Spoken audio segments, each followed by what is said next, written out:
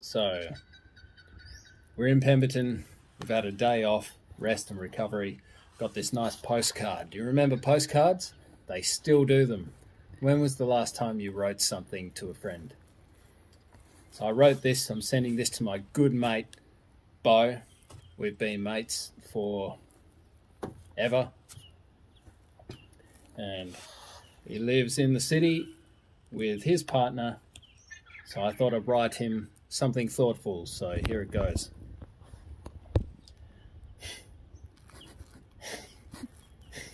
Don't start, I'll start. My dearest beau, long it has been since I wrote you last. The walking has been arduous, cold, and wet. The cold has me powerless to resist the thought of those cherishable moments in your warm embrace.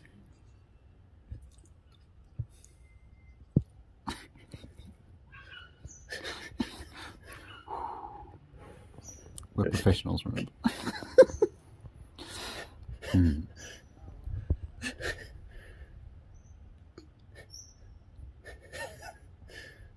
The smell of your neck, your sweet tanned neck, throbs in my memory.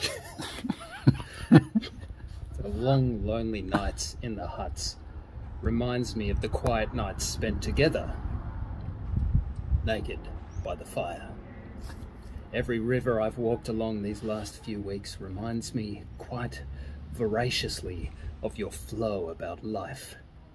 Calm, purposeful, consistent, and inviting to all living things that witness you. Every huge tree that I pass reminds me of your tall, sheltering structure.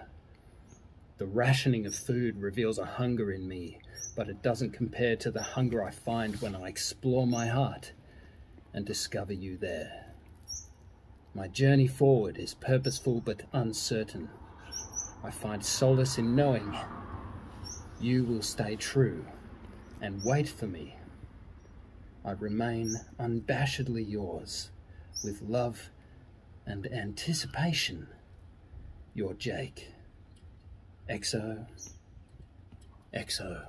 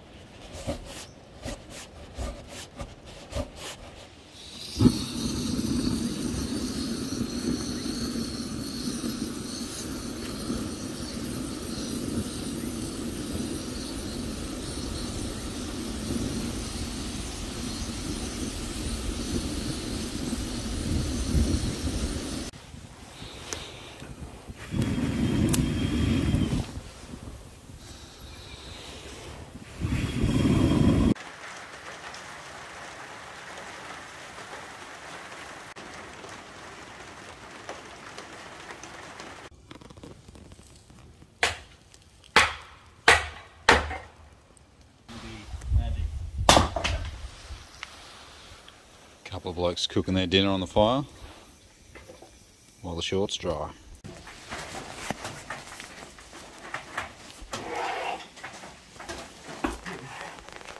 Good morning.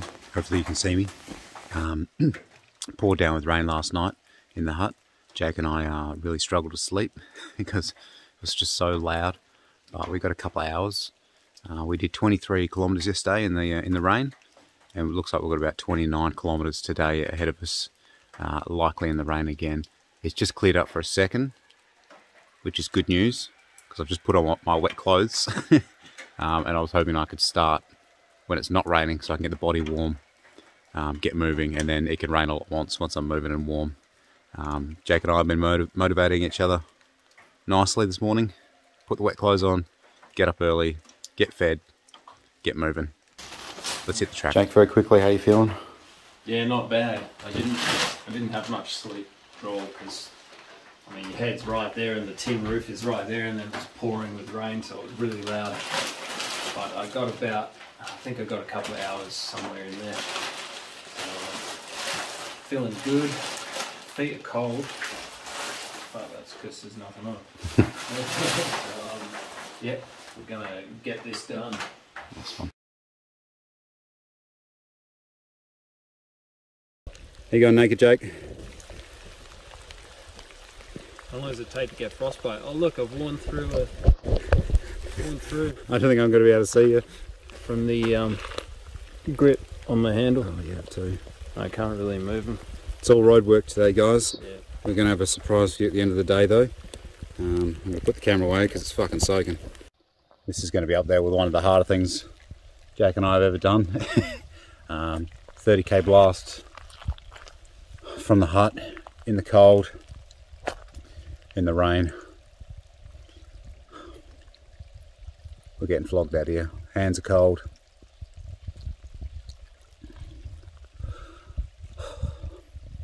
Just keep walking.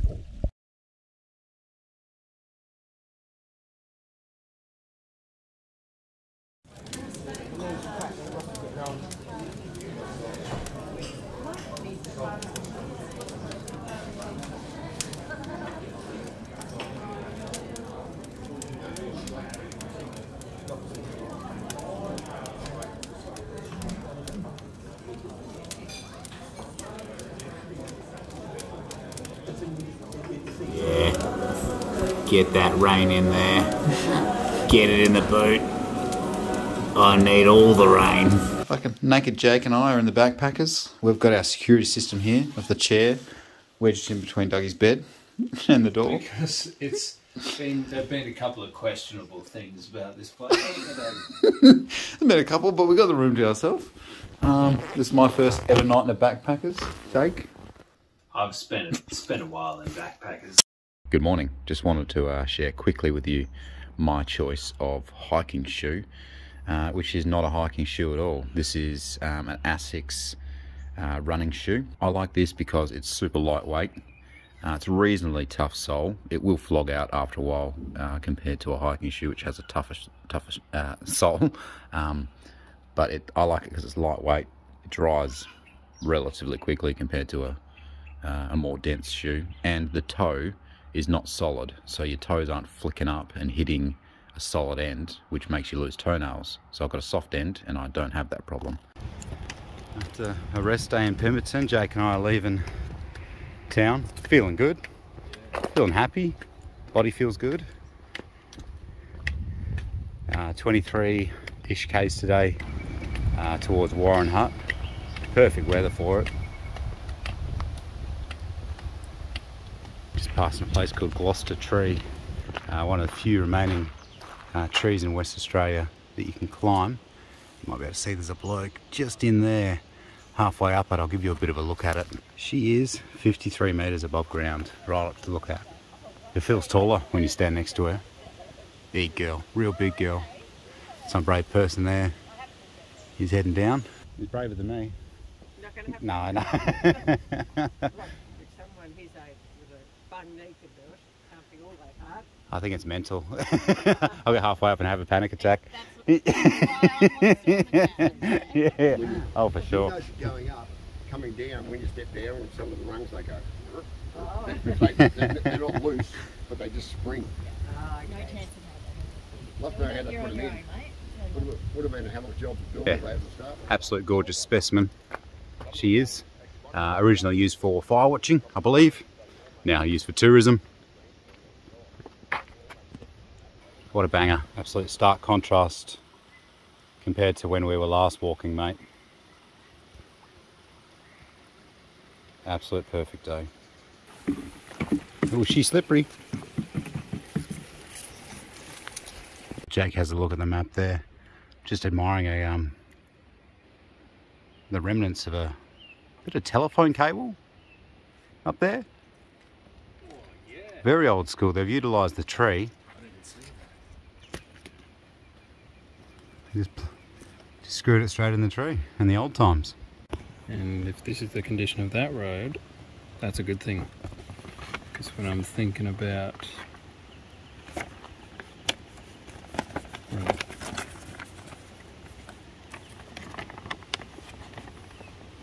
when I'm thinking about this this road here, same sort of dotted thing, and if we're looking at that, then that can be what we can expect. While I've got the viewer, I'll just tell them the quick story about uh, why you've got one red pole and one black pole. so, I've got a matching pair of black poles. Jake has one red pole, one black pole, identical make and model of pole. But um, we went on a BCF date and there was four poles. Three black, one red. and it was decided by scissors, paper, rock. Um, I won the scissors, paper, rock and I, like the conformist I am, went with the double black pole and Jake was left with the red and black. But it's worked out all right because yours, one of yours is slightly shorter than the other. Um, I could have them the same size, but it just feels, this feels balanced to me, so maybe I've got a hobble or something in the way that I walk. But the left being shorter, I've adjusted it that way and that works, that feels balanced. But together, see the difference in that. Oh yeah, oh yeah. I mean they're on it they're on level ground then. There's a good inch and a, maybe two Yeah, there. no, it just feels perfect like that, which is strange. Well, there you go. Very fashionable, mate.